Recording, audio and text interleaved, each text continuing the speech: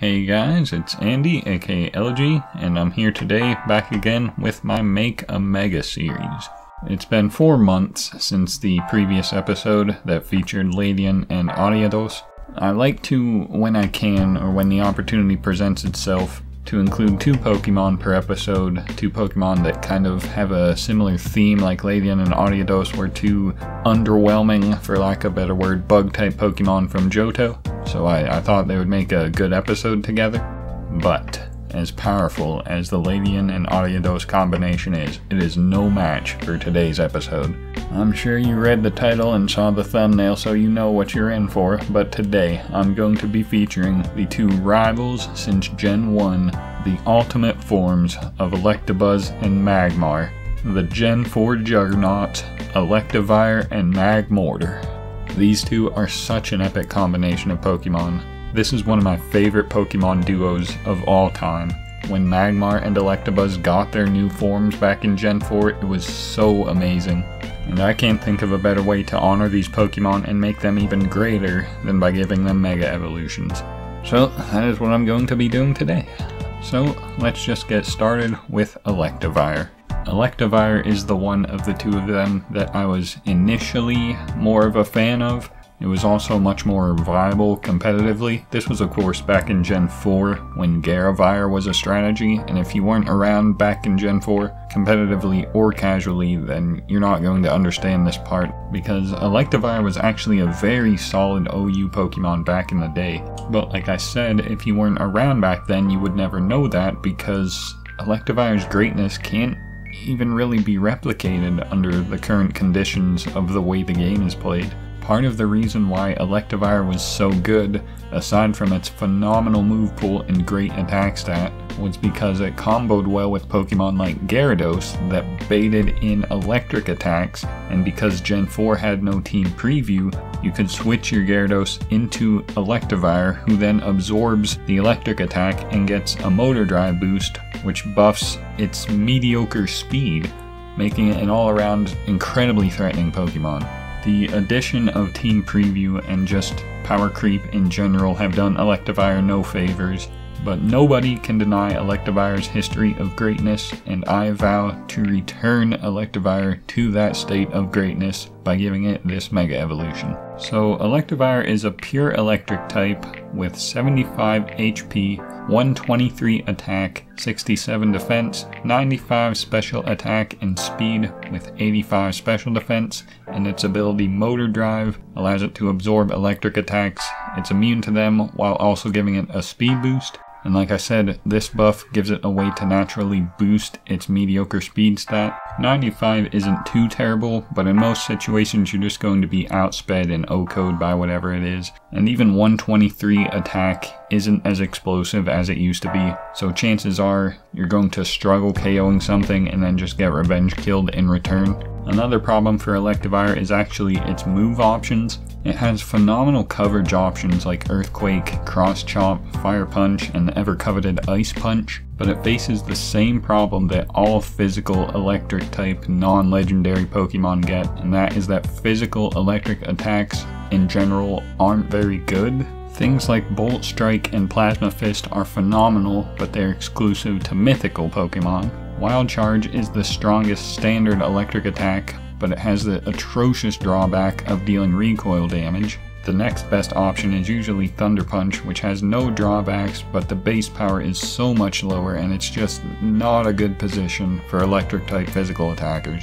And these are the main points I wanted to focus on when building this Mega, and while I do think it would be cool and epic to give Magmortar and Electivire previously mythical exclusive moves like Plasma Fist or Bolt Strike, Blue Flare, stuff like that, I made a point in my Mega Mega series that I'm not going to try to give Pokemon new moves because that's not really anything to do with giving a Pokemon a Mega Evolution. Though Game Freak has listened to my suggestions in the past that they should give moves like Calm Mind and Nasty Plot to Noctowl, so maybe they can listen again for something like this. That'd be kinda cool. But with all that being said, this is what I came up with as an idea of what to do to give Electivire a Mega Evolution that would benefit it. I'd start by giving Electivire 30 speed, putting it at 125, I think by now the core standard for an electric type Pokemon is that they generally have high speed, and while 125 still isn't the insane level of things like Zeraora or even Jolteon, it's still plenty of speed, definitely better than the 95 that it had originally.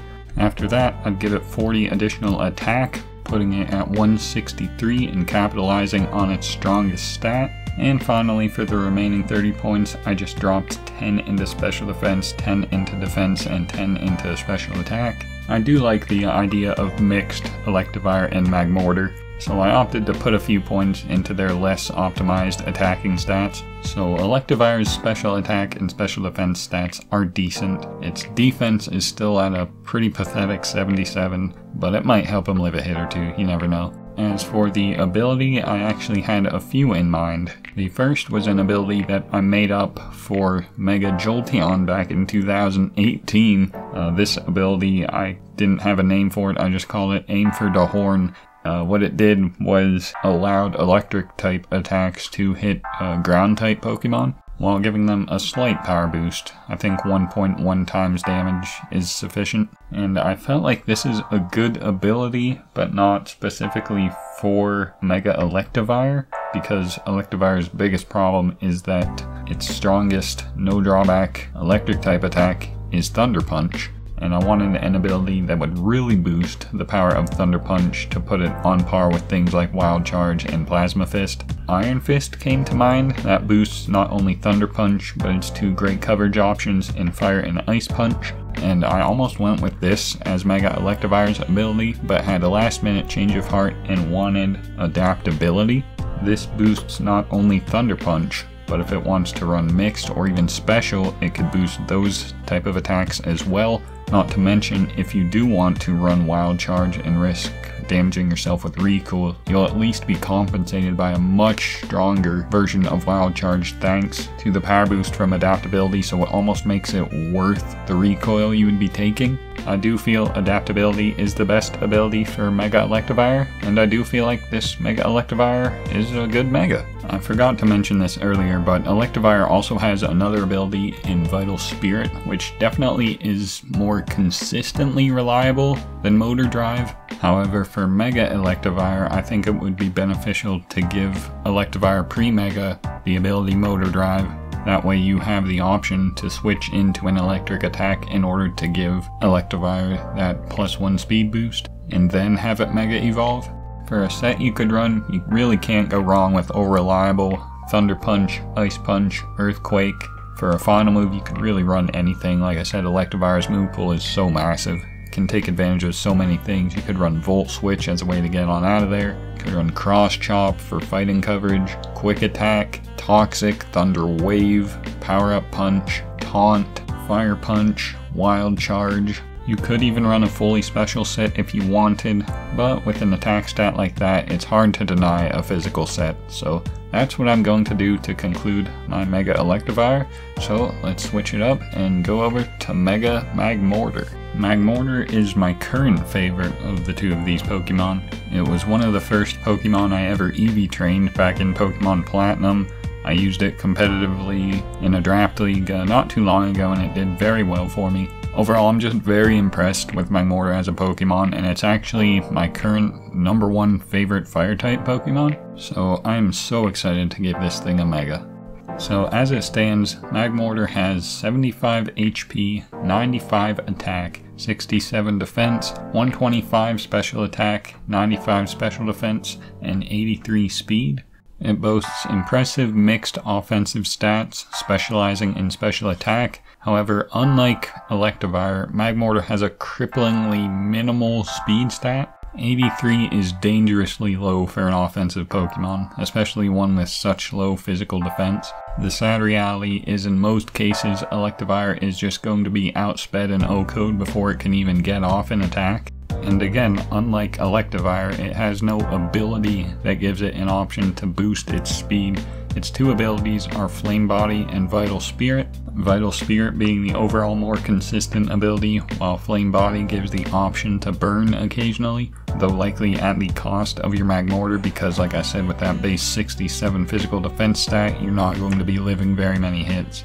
Despite all these issues though, I do think Magmortar is a good Pokemon, and it is my hope today to make a great Mega Magmortar. And in order to do that, I opted to give Mega Magmortar the same statistical increases that I gave to Electivire, that being 40 points to special attack, putting it at 165, 30 to speed, moving it to 113, and 10 more points to attack, defense, and special defense. I wanted to retain the original theme of Electabuzz having slightly higher speed than Magmar, so I kept their statistical increases the same values. Admittingly, Magmortar as a standalone Mega could have been more optimized, but I really like this in combination with Mega Electivire. 113 speed allows Magmortar to outspeed the base 110s, which is a significant benchmark, its overall bulk is still relatively low, but definitely superior to what it was, and that special attack stat is nothing to laugh at. For an ability, I actually thought about also giving Mega Magmortar adaptability, but it really didn't feel as necessary or as impactful as it did for Mega Electivire, so I came up with another new ability for Mega Magmortar. The name of the ability would be Scorcher, and the effect would be that any fire type attack that Magmortar uses has a 100% chance to burn the target. This is reminiscent of its original ability Flame Body, but instead of making it a more passive reactive ability, this is more proactive, more offensive, and is just overall a much better fit for Mega Magmortar in my opinion.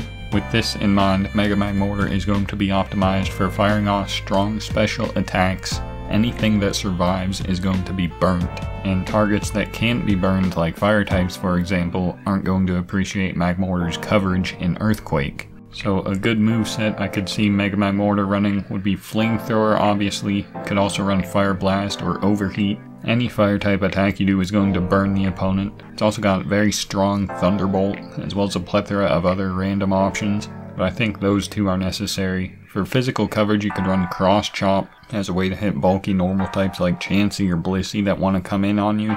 Also the aforementioned Earthquake to hit fire types. Another neat tech option you could run would be Flame Charge because you would not only boost your speed afterwards, making you an even bigger threat, but you'd also burn your opponent because it's a fire type attack. Overall, Magmortar has a lot of tools at its arsenal, just like Electivire. However, with these stats, I feel it can utilize these tools much better than it previously could. So that is going to be my design for Mega Magmortar, and that is going to conclude the video. I hope you enjoyed my ideas for giving these two rival Pokemon Megas. If you disagreed with anything I said in this video, be sure to let me know how you feel. If you made it all the way through this video, I'm going to assume your stance on Mega Evolution is that it should come back, and that you're a fan of my Make a Mega series. If you have any constructive criticism about the series, I would appreciate that feedback in the comments as well. If you are a fan, I do apologize at how infrequently this series is produced. My inspiration to make it kind of comes and goes at times, but I do plan to continue this series until they decide to bring back Mega Evolutions, and possibly even after that. We'll see. But that is going to conclude the video for today. Thank you guys for watching. Be sure to have a good day, guys, and I'll see you next time.